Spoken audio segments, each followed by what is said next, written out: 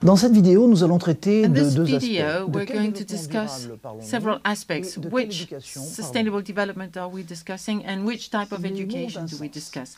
Words have a Développement meaning. signifie Development means transforming something. Growth means increasing something.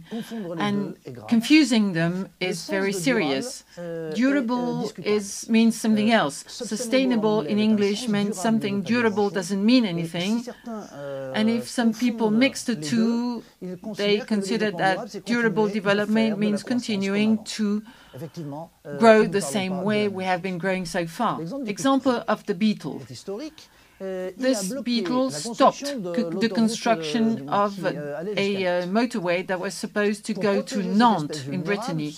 In order to protect this uh, endangered considère que l'extinction de species, because of a par concept of strong intérêt, si ce n'est durability, protection of this insect with no other benefit than a biological one, could not be compensated by the benefit of a a motorway. And 10 years later, on est rentré dans un a different principle euh, was adopted, that of à weak savoir que les durability or économiques et sociaux sustainability, and the uh, euh, benefits euh, given by the motorway En aide, il importe counterbalanced donc de clarifier les the biological loss of that choix que nous beetle. So there are values underlying the uh, choices we make. Consensus or dissensus. The example of wolves is quite characteristic. pas là, on cherche le Until wolves are not there, people look for a À partir du consensus. But once the wolf is there, old uh, wars uh, crop up again and dissensus dissensus, entre disputes between uh, breeders, sheep breeders, and wolf protectors start again and flare again. croire que le So it's a développement durable est la mistake to believe that consensus. Non, c'est plutôt la durable development is looking for a conflit ou de consensus. We're talking more about managing a Le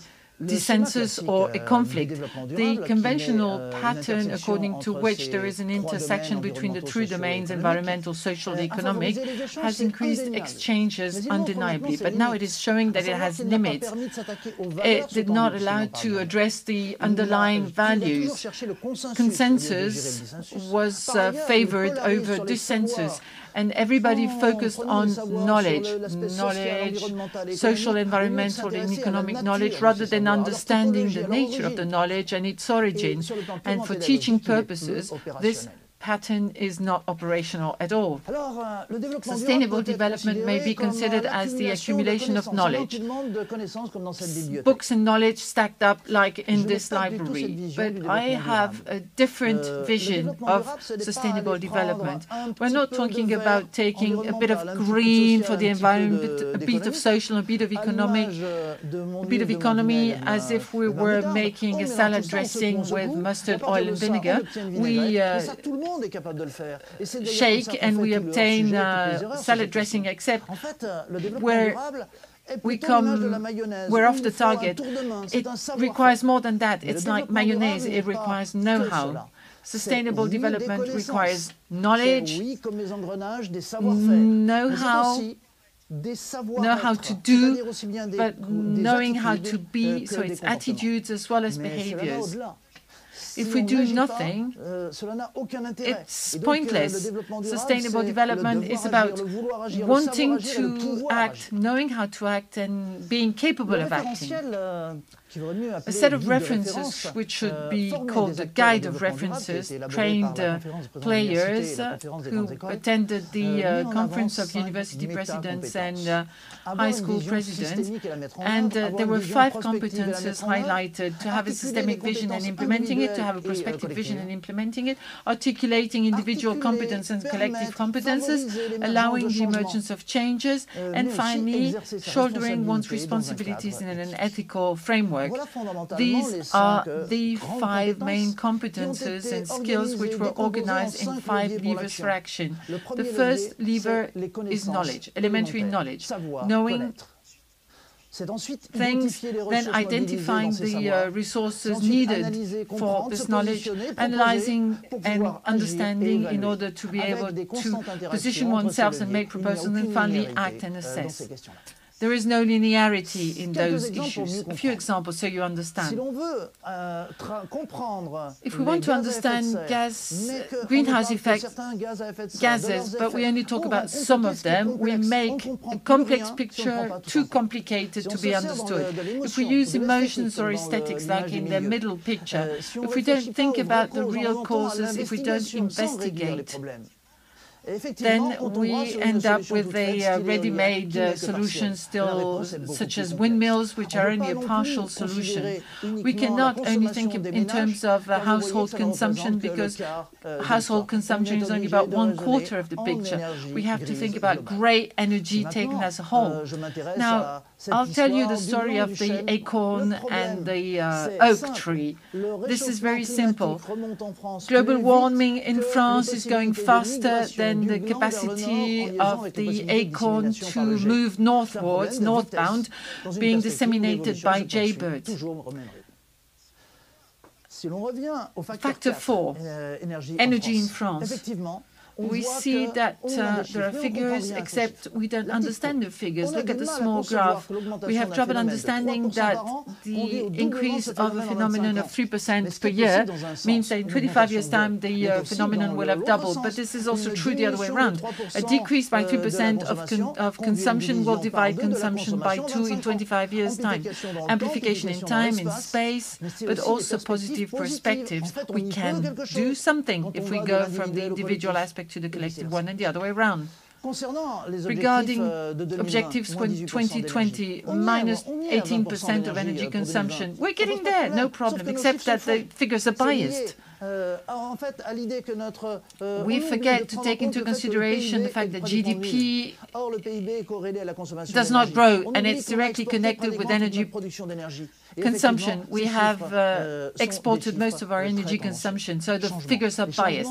Changes, the changes are either wanted or suffered, progressive or quick, prog positive or negative, reversible or not?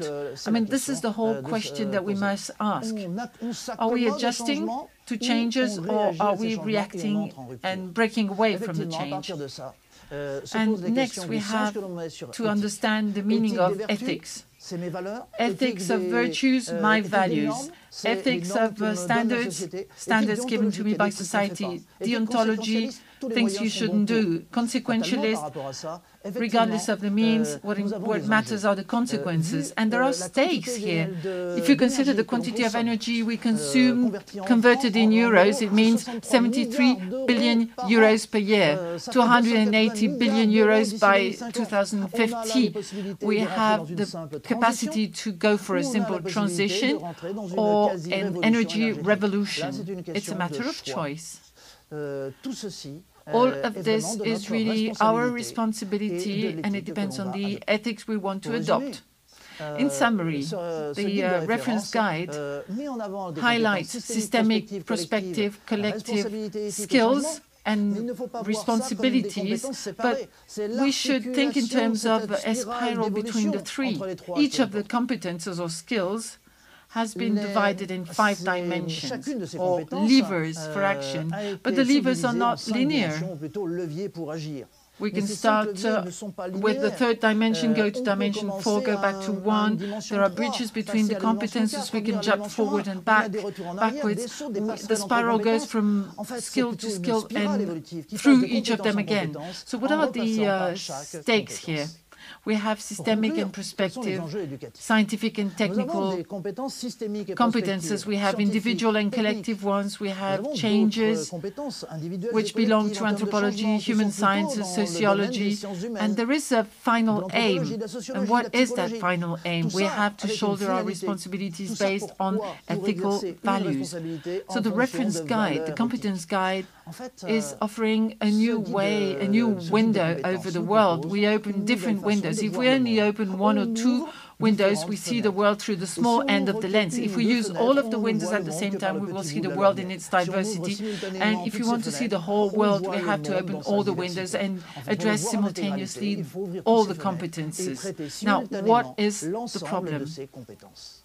We don't have the quel est notre tools to train people to those uh, systemic les outils de prospective competences. We need to create those tools. We also need to create teaching ces outils, il va scenarii falloir les créer. in order to implement all of these uh, aussi des scénarios skills in complex mettre en œuvre tout situations. And finally, the stupid question is do we continue pose une question teaching weak education in a faire une éducation faible in our dans un type scolaire, dans une habitual school, or do we want to go for a strong éducation and change the paradigm? Are we ready? This euh, is the point de vue question. Y sommes-nous prêts La question est ouverte.